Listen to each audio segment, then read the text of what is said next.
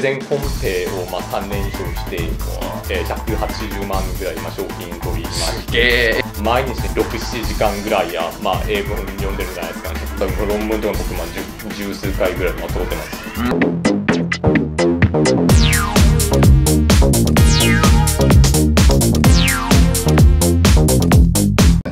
そうだから始まりました森田ではい。ですね、えー今回再びねカリスさんにお越しいただきました。ありがとうございます。チェンジオブシェイプいやカリスだ。そうね。これもう作ろうかな？自分も。Hello there しかないからな。My name is Karma みたいなのやろうかな。あー My name かっ is けー。Moriketi みたいなのやろうかな。はい。えー、そんなんですね、カリさんにですね、なんと今回はですね、いよいよ勉強法というか、どうやってやってきたのかを聞きたいんですね。まあ、うん特に、English Channel ですので、英語どんな感じでやってきたのかっていうのをですね、聞きたいんですけど、なんかすごい伸びたとか感じる時ありました？これやってすごいできるようになったとか。圧倒的にあります。お僕がまあ英語を多分本格的に取り組んだのはまあ修士課程に入ってからで。おそうだったんですね。まあ、割かし最近なんですね。へえ。だから僕は多分まあ3年前の時点でまあまあ英語はもうこれ未来英語困らないんだろうなっていう多分実感を得たので、はいはいはい。逆に言えばその前は全然まあそういうことはなかったんですね、うんえーで自分はまあ何をやったかといったら英語というのはちゃんとしたもう学習順序があると思っていて。その順序とはまずは発声でうんその次が発音、それから文法でリスニングスピーキングリーディングライティングのこの、まあ、5つのまあ順序があってこの通りにしとけば誰でもすぐまあ一瞬で上手くなるという、へ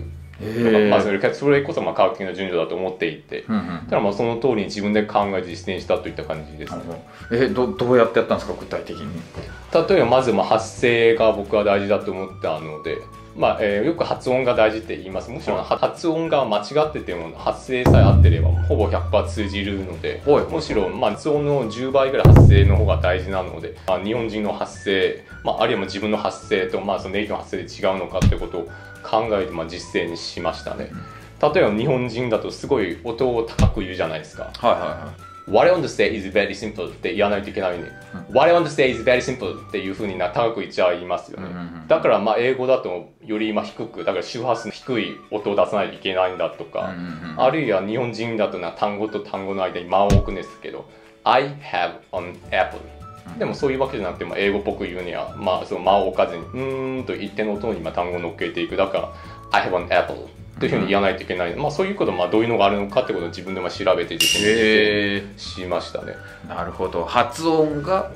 ちょっと違ってても発声がちゃんと合ってればアクセントとかか間違ってても全然通じるんですね。まあ発音なんてもうイギリスなのか、あるいはもうアメリカなのか、あるいはシンガポールなのか、そうやってまあ全然変わってくるんですね。でもまあどこの人たちでもお互いまあ会話はちゃんと通じてるなら、発声は共通してるからなんですね。うんなるほどじゃあ声の出し方っていうのを研究して科学的に考えれば多分まあこうすればうまくいくんだろうなっていうのはあるので自分でまあそういうのを考えても自分の今の現状は何でだからこういうのをやればいいよねってことを考えて実際に実践していたといった感じです書くのもまあ多分まあ普通の人より多分34倍ぐらい早く書けると思いますし、まあ、もへちろん話すのもまあ日本語と同じく早口ですし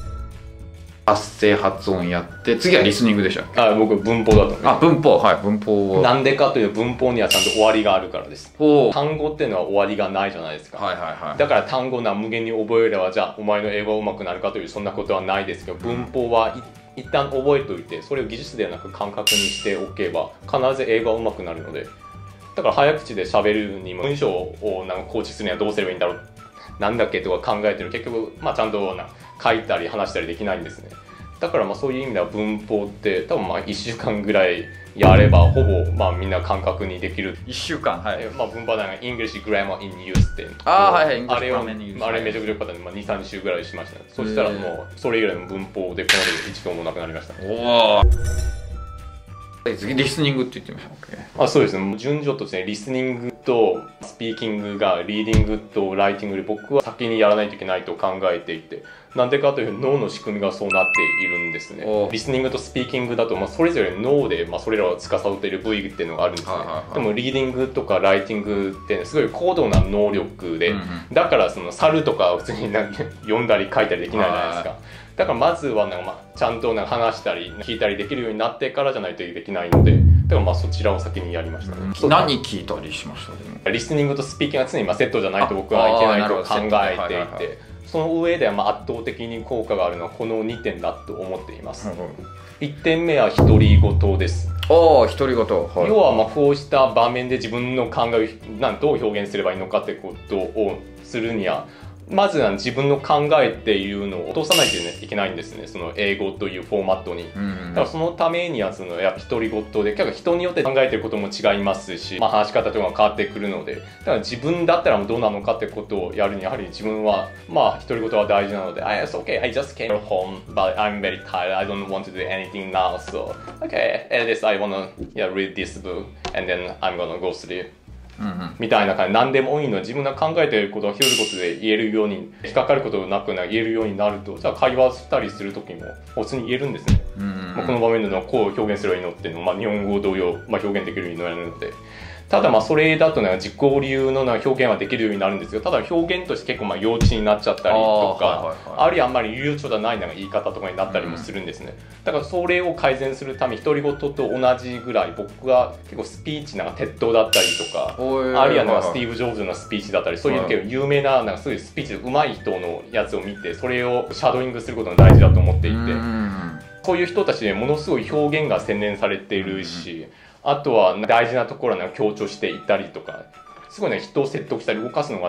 得意なので、はい、そういうことところから学べるのってたくさんあるのでだからまあそういう例を両方やっていくと自分も彼らをまあある程度まあ真似できるようになれるし実行流でもまあ、その独り言で練習してきたようにな自分らしいなんか話し方で彼らのな力も借りて喋れるようになるので英語で話すことはまあ一切困らなくなりました、ね、すごいですもんね。スピーチとか得意ですもんね。そうです、ね、いろいろ優勝したりとかしてますもんね。あ一応まあ僕プレゼンコンペをまあ3年以上して180万ぐらいまあ賞金取りましすげえ。で一番最近取ったのはまあ英語でまあ自分の AI の研究によってついてもプレゼンして、まあ、4 5 0人の東大生の中から最も社会的インパクトの強い研究として、まあ、東大の教授たちによって選ばれました、す。ごい。それ英語でプレゼンですね、まあ、英語ですね。はい。はあすごい、まあ、もちろんじゃあ日本語のプレゼンも得意ですね、まあこれだけ話せるってことは、あその前の2つは、まあ、日本語だったので、はい。まあ、日本語でも英語でもどっちでも賞を取れるぐらいには得意ですね。いえぱそういうのあるんですね。だってスティーブ・ジョブズとか、まあ、そういう偉人たちにはついてるんで そうですねついてる。いやそれはすごいですね、うん、日本語のスピーチとかは別に全然ですか？見たり聞いたりとか昔だとそれ似たことをやっています。僕結構昔は、ね、アニメはものすごい好きだったので、はいはいはい、特に物語シリーズが好きだったんですね。その西尾維新さんの、はいはいはい、えー、だ。からその中にはモノローグが出てくるんですね、はいはいはい、その猫物語白というところに。はいはいで、えー、羽川翼ちゃんという、まあ、キャラのモノローグで一人でも30分で40分ずっと喋ってるんですね。なんかでも僕それ聞いてなんかずっと,、えーとまあ、数百回ぐらいシャドウイング繰り返しました。わすごい。やっぱりすごいですね。やる、はい、やることがそういうところからも、まあ、ちゃんと、まあ、パクれているんじゃないかなと思います。聞いてそっか真似してすごいなやっぱりその後に、えー、まあ、リーディング。ライティングをやったという感じ、あ、リーディングライティングも今日も似たような感じで。まあどっちもなリーディングやってライティングやろうじゃなくて多分お互いなどっちもやっていかないとどっちも伸びないと思っていて、結局は、ね、論文書いたり読んだりしないといけないですもんね。どれぐらい読んだとか分かります？論文とか常に読んでる自分でも常に書いてるんで毎日67時間ぐらいや、まあ、英文読んでるんじゃないですかね。うわだからもう飽きたみたいな でも僕、まあ、基本的に1日の、まあ、3分の1ぐらいがずっと延々と、まあ、英語を読んでるみたいなそういう生活を送ってるので。起きてるのの3分の1はもう英語そうですね。まあ、リーディングとライティングのコツも、まあ、1個ずつだけで教えておくと、はいはい、まあ、リーディングのコツとしては速読が大事だと思っているので、はいはい日本語で速読しようとするとどうします？こういう流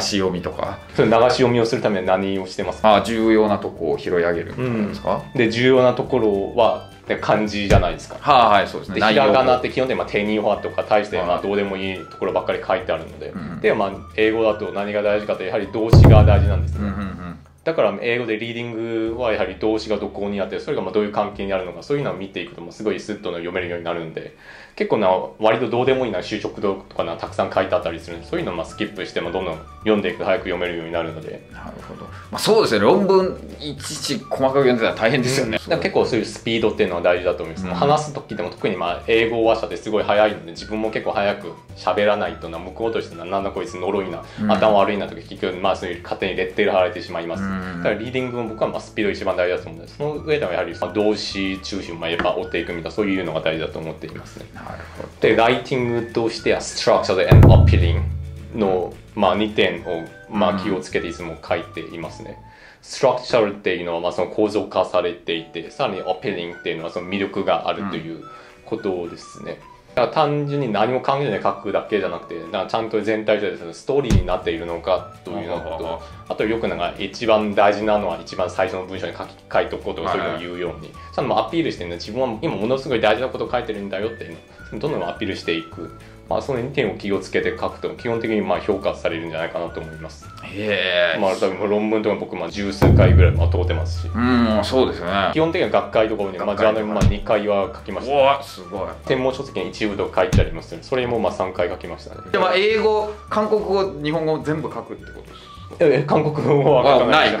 韓国語はない。だから僕今日本語英語韓国語なんで別にだって英語圏に留学してたわけではないですもんね。あ一応ドイツには留学してます。ドイツ？ドイツなんて、はい、ドイツ人って、まあ、英語もゲルマン系統なのですごい近いんですね、はい。はい、だからまあドイツ人の若者は大体ほぼネイティブに近いんでドイツ語僕一切学んでないんで向こう行って。そうなんですか？もうナンパの文句ぐらいしか覚えてないので。そうなんだからそこでも英語はめちゃくちゃ伸びてるだと思います。いいつ行ったんですかドイツは？それが3年前です。あ3年前。ですねこれ帰ってきた時点で僕はまあ英語はまあ一生困ることないなって思うようになりました、どれぐらいの期間行ったんですかドイツ？半年です。半年ドイツに行って英語だったっていう。ただ、えーと、留学は僕は基本的には実習生だと思っていて、はいはいはい、ある程度、まあ、英語について自分の、まあ、思考を変えるとかそれを確立した上でじゃあ、まあ、より自然になんかそう。こういう場面ではまあこういう反応すればいいんだとかあるいはまあネイティブよりまあこういう表現を好むんだとかそういうのをまあ知って自分をよりなんかナチュラルにしていくために行く必要なのが留学だと思っていてでもそれができておらずなんかもう大してなんか英語もできない人が留学でも僕はもうほぼほぼ一切意味ないと思うん。で自分で勉強した方がずっとコスパいいと思います、ね、なるほど。そうやってて留学は調整のために、はい、え6か月何をやったんですか？あもう研究やってました、それも。ドイツの大学で、はい、ドイツのどこ？えっ、ー、とミュンヘン工科大学といって、えーと、ドイツの MIT 的なところですね。はいはいはいはい。ミュンチェンにある方ですね。あとまあ一応まあイギリスも1か月ちょいまあ、まあ、行ってましたね、えーと、ケンブリッジ今年行ってましたね。そうね。研究ですはい、まあ、放射人科行ってましたね。ええ。ー、自分のまあ専門と絡んでるんで、えー、ぜひですね真似してみたいただければいいんじゃないかなと思いますそしてカリさんのねチャンネルも貼ってありますのでですね。ぜひチェックしてみてください。君のこと待ってるよ。I'm waiting for you みたいなね。いや I'm waiting for you わあすごいっつって好感度爆上がりでありがとうございます。爆上がりでこれででチャンネルってええー、全然キャラ違うみたいな めっちゃ煽ってるみたいな。まあそれも見たら面白いと思いますね。そそうですね。まあここでまあ敬語で話していますけど、まあ、基本的に自分のチャンネルだとまずタメ語ですね。まあ俺とか君みたいな感じなんで。彼氏のチャンネルで低評価を押さないでください。高評価をしてください。あなんだいきなり低評価増えてあれもしかして森手さんのチャンネルから来てんのかみたいな。はいということで今回は、えー、彼氏さんにお越しいただきましたありがとうございました、はい、ありがとうございました